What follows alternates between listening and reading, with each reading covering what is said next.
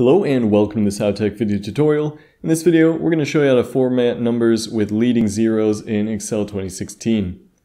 So I'll show you a bunch of different examples of what you can do, just in case you have something different in mind. So we have all these numbers here, and we want to give them a couple zeros in front of them. So there's a bunch of different ways to do that, as I mentioned. Here's one of the first ways.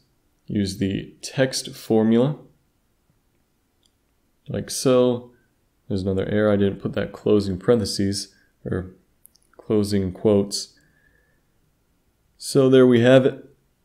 That put the leading zeros in there. So now all the numbers are neatly in line with each other according to the maximum and largest value of digits. So that's one way to put leading zeros on if you want something like that. You can also change that to number. However, it will not affect our sum.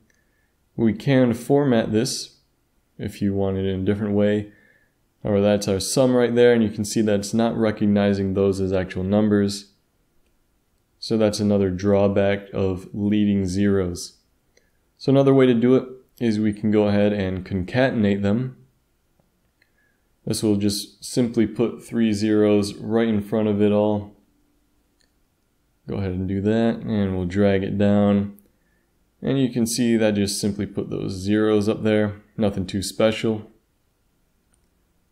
Of course, Excel doesn't recognize those as actual numbers. Right now it's more of a text sort of thing. You can also do it that way. And of course our sum changes because Excel recognizes that not as a number but as a text value even if we did go ahead and select all of these or these, try to convert them, it won't exactly work. Even if you tried general or tried number, you're going to have to go ahead and convert that to an actual number that Excel recognizes and can compute. This has been a HowTech video tutorial. Please like, subscribe, comment, and thank you for watching.